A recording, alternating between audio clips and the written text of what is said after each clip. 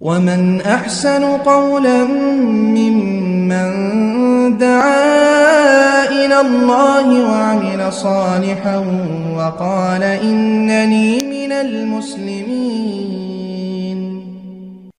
ওয়ালাইকুম আসসালাম রহমতুল্লাহ বরকাতুহ জি সম্মানিত ভাই জানতেছিলেন যে আল্লাহ তাবারক ওয়া তাআলা কাদের জন্য জান্নাতুল ফেরদাউস বানিয়েছেন জান্নাতুল ফেরদাউস যারা থাকবে তাদের বৈশিষ্ট্যগুলো কী সম্মানিত ভাই গুরুত্বপূর্ণ একটা প্রশ্ন করার জন্য আপনাকে অনেক অনেক ধন্যবাদ আসলে আল্লাহ তাবারক ওয়া তাআলা এই প্রশ্নের উত্তর তো সূরা মিনুনের এক থেকে এগারো নম্বর আয়াতের মধ্যে দিয়ে দিয়েছেন আউযুবিল্লাহি মিনাশ শাইতানির রাজিম قد أفلح المؤمنون الذين هم في صلاتهم خاشعون والذين هم عن اللغو معرضون والذين هم للزكاة فاعلون والذين هم لفروجهم حافظون إلا على أزواجهم أو ما ملكت أيمانهم فإنهم غير ملومين فمن ابتغى وراء ذلك فأولئك هم العادون والذين هم لأماناتهم وعهدهم راعون والذين هم على صلواتهم يحافظون أولئك هم الوارثون الذين يرثون الفردوس هم فيها خالدون আল্লাহ তাবারক ওয়া তাআলা বলেন قد أفلح المؤمنون ইমানদার এরা হচ্ছে সফলতা অর্জনকারী। সফলতা অর্জনকারী ইমানদার, এদের গুণাগুণ কী এবং তাদের ফজিলত কি? এটা আল্লাহ তাআলা বলতেছেন। আল্লাদিন হুমফি সলাতিম খাউন যারা তাদের সালাতের মধ্যে যে একগ্রতা সৃষ্টি করে, তারা সফলতা অর্জন করল। অর্থাৎ সালাত আদায় করবে যে আল্লাহ তালা সন্তুষ্টির জন্য নিজের মনকে খালি করে, সমস্ত জাবিল থেকে, দুনিয়াবি সমস্ত জমিন থেকে খালি করে আল্লাহ তালা সন্তুষ্টির জন্য একেবারে একত্র চিত্তে সালাত আদায় করবে। তারা যে সফলতা অর্জন করল। দুই নম্বর হচ্ছে ওয়াল্লাদিন হুমানিল্লাহ মরিদুন, যারা অনর্থক বিষয় থেকে নিজেকে দূরে রাখেন। এখানে ব্যাপক আকার অর্থ আছে, অনর্থক বিষয় যতগুলো আছে, কোরআন, সুন্নার আলোকে যতগুলো অনর্থক বিষয় আছে, যে যার মধ্যে দুনিয়ারও কোনো উপকার নাই, আখেরাতের কোনো উপকার নাই। এমন সব কাজ, এগুলো হচ্ছে লঘ্ব, অনর্থক কাজ, অনর্থক কথা সব কিছু এর অন্তর্ভুক্ত।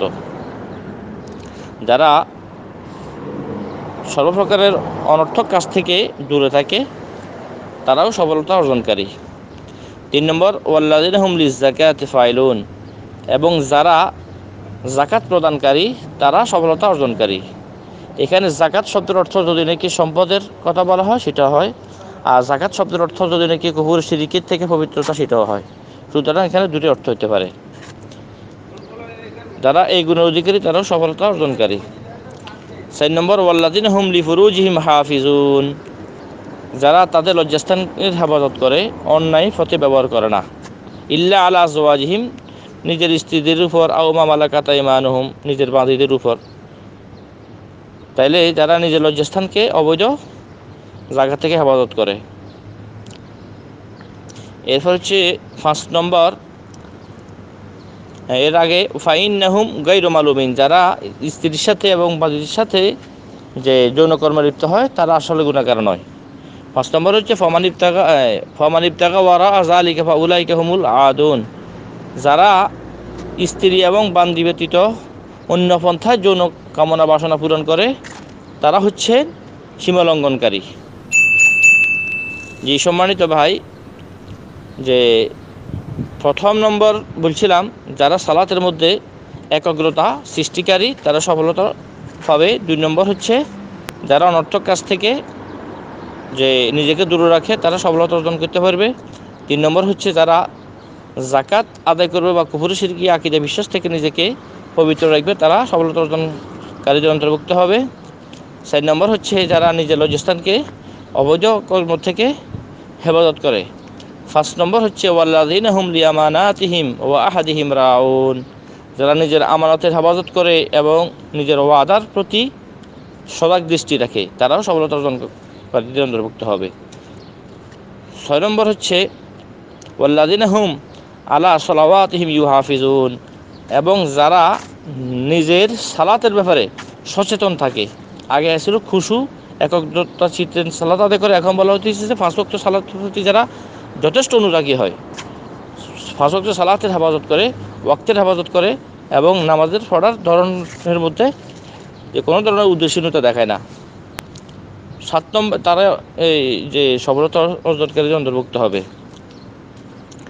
উলাইকা হুমুল ওয়ারেসুন। আল্লাহ তাবার কথা বলেন, এইখানে যে যতজনের কথা বলা হয়েছে, সব গুণ অর্জনকারী, তারা সফলতা অর্জন করবে, তাদের পুরস্কার হবে উলাইকে হুমুল ওয়ারেসুন।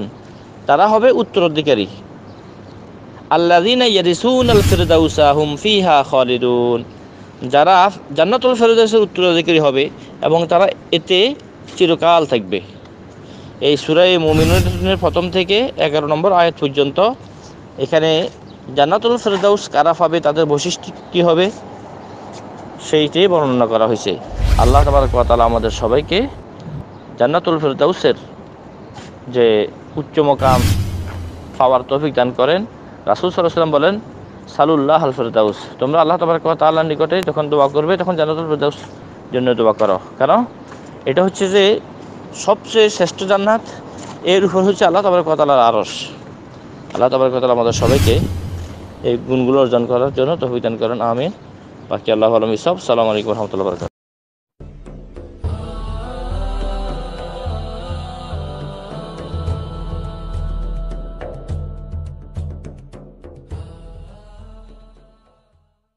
أشرقت نفسي بنور من فؤادي حينما رددت يا رب العباد.